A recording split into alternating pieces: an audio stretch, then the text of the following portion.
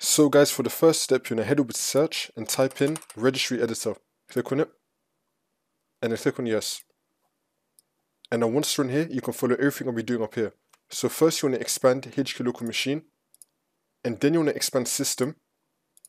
And then you want to expand current control set. And now you want to expand services. And now you want to scroll down till you find NLA SVC. You want to scroll down till you find it. Scroll down till you find NLA SVC. You want to expand NLA SVC.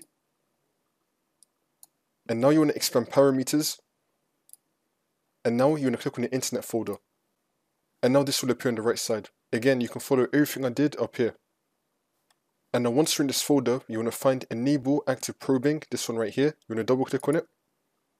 Change the value data to 1. Make sure that in this box right here it says 1. If it says like 0 or like any other number, delete it. Change it to 1. Make sure you have the base on hexadecimal and then click on OK. Now you just want to restart your computer and then the problem should be fixed.